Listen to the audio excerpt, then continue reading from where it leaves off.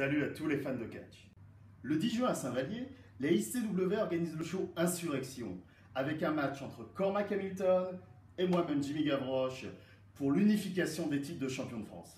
À la suite de l'annonce, un site spécialisé dans le catch m'a interviewé pour savoir ce que je pensais de ce combat. Et j'ai eu la chance de voir une vidéo réponse de Cormac Hamilton et de Kermarek qui voulait donner quelques sens à mes propos. Alors les gars, c'était pas du tout la peine de faire une vidéo pour si peu.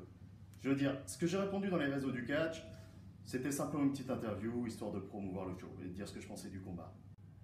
Là par contre, je vais vous dire ce que je pense de vous, et maintenant, je vais vous en mettre plein la tête. Cormac, tu dis que tu vas quitter Insurrection avec les deux ceintures. Comment tu vas faire pour les porter, mec? T'es aussi queuse qu'un coton-tige.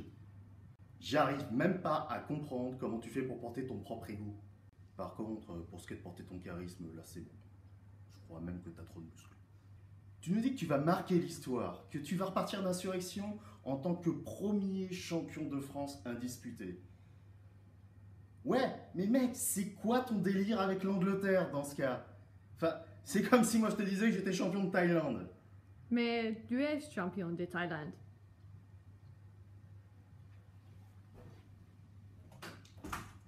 Donc le 10 juin, à Saint-Vallier, show insurrection de la ICWA. Cormac, attache bien ta ceinture parce que tu vas voler. Attends, attends, attends, attends, attends, attends. Attention au départ, direction notre histoire, larguer les armes à 1, 2, 3, 4, pour un soir, accorder les guitares. Il y a vraiment des gens qui se mettent ça dans l'oreille? Oui, oui. C'est chelou.